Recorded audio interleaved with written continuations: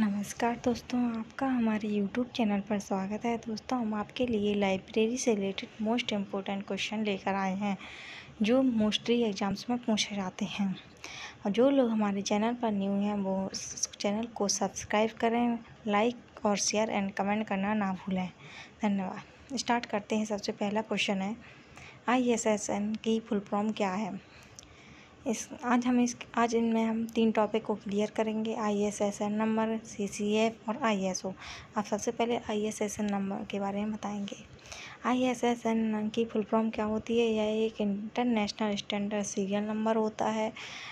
आई S S N क्या है? यह एक आठ अंकों का कोड होता है, जो समाचार पत्र, पत्रिकाओं और अनेक प्रकार के मीडिया प्रिंट पर इलेक्ट्रॉनिक पर प्रचार करने के लिए उपयोग किया जाता है।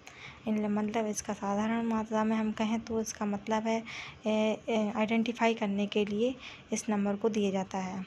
इस नंबर की सहायता से हम किसी भी समाचार पत्र, पत्रिकाओं को या जर्नल्स को हम आइडेंटिफाई कर सकते हैं कि क्या है। इस प्रकार अगला क्वेश्चन है आई एस एस एन को कब और किसके द्वारा विकसित किया गया था? यह इसको 1971 में international standard organize International Organization for Standardization S O के द्वारा विकसित किया गया था। अगला है आई एस एस एन को किस मानक ऑपर और कब विकसित किया गया था? आई एस एन को I S O three two nine seven के द्वारा नाइनटीन सेवेंटी फाइव में प्रकाशित किया गया था। अगला है, जब एक सामग्री पाला एक धारावाहिक एक से अधिक मीडिया प्रकार से प्रकाशित हो तो प्रत्येक मीडिया प्रकार को दिया जाता है। एक अलग से I S S N number. वर्तमान, अगला है, वर्तमान समय में प्रिंट और इलेक्ट्रॉनिक संस्करण के लिए I S N N number प्रदान किया जाता है पी और ई के रूप में। पी मतलब होता है प्रिंट और ई मतलब होता है इलेक्ट्रॉनिक के रूप में। आई एस एस एन में कितने भाग होते हैं? दो भाग होते हैं। पहला भाग होता है इसके बारे में हम देखो डिटेल में दिखाएँगे। पहला भाग होता है title I S N number. ये हो गया एक title I S N number और एक हो गया चेक डिजिट। दो पार्ट्स में डिवाइड किया जाता है इसको। अब आएगा आई एस एन का अंतिम भाग, अंतिम संख्या क्या होने की संभावना होती है? ज़ीरो से नाइन तक होता है या एक्स होता है? जैसे इसमें ज़ीरो दिया है। इसमें वन हो सकता था, टू हो जाता था, थ्री, नाइन तक हो जाता था, कुछ भी, या फिर एक्स भी हो सकता है चेक डिजिट के रूप में। अगला है, भारत में आई एस एन नंबर किस संस्था द्वारा प्रदान किया जाता है? यह निस्केयर के द्वारा प्रोवाइड किया जाता है। अगला है, C C F. C C F की फुल फॉर्म क्या होती है? Common communication format. C C F का और किस की सहायता से विकसित किया गया था? या यूनेस्को के सहायता से? यूनेस्को मतलब United Nation Education, Scientific Culture Organization federal 1978 में पीजीआई और सी पीजीआई के अंतर्गत विकसित किया गया था। सी सी एफ़ का प्रथम और द्वितीय संस्करण कब आया था? प्रथम संस्करण एट्टी फोर में, नाइनटीन एट्टी फोर में पीटर सिमंस और एरन हॉपकिंस के द्वारा संपादित किया गया था तथा द्वितीय संस्करण eighty eight, nineteen eighty eight में प्रकाशित किया गया था। फोर ईयर्स का डिफरेंस था इसमें।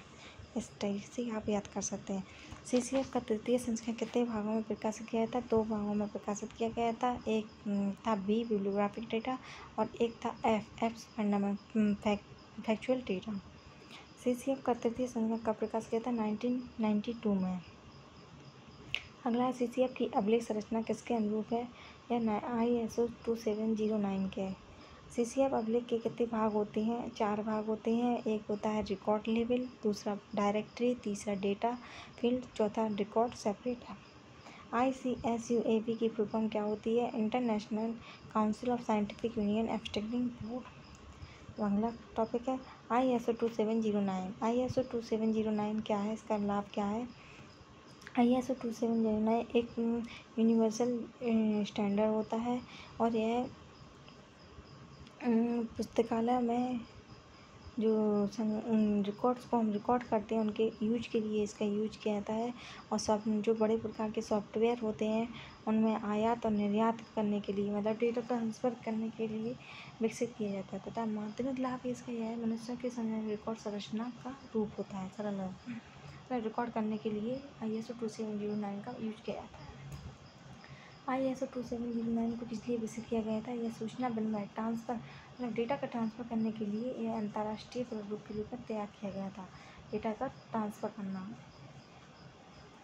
आदान प्रदान करने के लिए। अगला है I S O two seven zero nine का प्रथम एडिशन कब आया था? नाइनटीन सेवेंटी थ्री में। सेवेंटी थ्री में आया था प्रथम edition. I S O two seven zero nine का सेकेंड रिवाइज एडिशन कब आया? एट्टी वन में। I S O two seven zero nine को मेंटेन रखता है Technical Committee for Information and Documentation I S O two seven zero nine का नवीनतम संख्या कौन सा है? N C N S O thirty nine point point two nineteen ninety four में आया था। N C N S O American National Standard Institute National Information Standard Organization के द्वारा। I S O two seven zero nine का नवीनतम मानक कौन सा है? I S O two seven zero nine का नवीनतम मानक है। टू सेवन ज़ीरो नाइन दो हज़ार आठ है। पुस्तकालय कार्ड पर मुद्रित जानकारी को संकेतित शब्दों में बदलने के लिए I S O two seven zero nine को किसने विकसित किया गया था? कांग्रेस पुस्तकालय के हेनरीट आवरम की दिशा में I S O two seven zero nine को विकसित किया गया था। आई एस ओ के कितने तत्व हैं? आई एस ओ के चार तत्व हैं। पहला होता है रिकॉर्ड, दूसरा डायरेक्टरी, तीसरा बिब्लियोग्राफिक डेटा फ़ील्ड तथा रिकॉर्ड सेपरेट है आपको जानकारी अच्छी लगी होगी है इसलिए धन्यवाद।